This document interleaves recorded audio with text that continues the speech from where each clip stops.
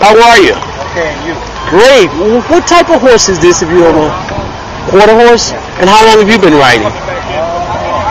Thirty some years. Is that right? Is this? Yo, hey. behind, man. We got here late. We got here 1.30. Uh, the U-Haul truck called flat.